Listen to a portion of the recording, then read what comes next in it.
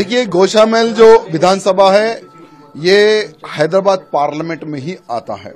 और हैदराबाद पार्लियामेंट का जो एमपी है, जो सांसद है, दुर्भाग्य से असुद्दीन ओवैसी है, जो कि एक देश द्रोही है। और ऐसी पार्लियामेंट से मैं विधायक हूँ, और उसी के एक व्यक्ति को हराकर, यानी हमेशा से चुनाव में असुद्दीन ओवैसी मुसलमानों का वोट कांग्रेसों को बेचता था अब वो टीआरएस को वोट बेचता है सिर्फ़ बेचने की और एक बहुत बड़ा बिजनेसमैन है वो और इसी की पार्लियामेंट से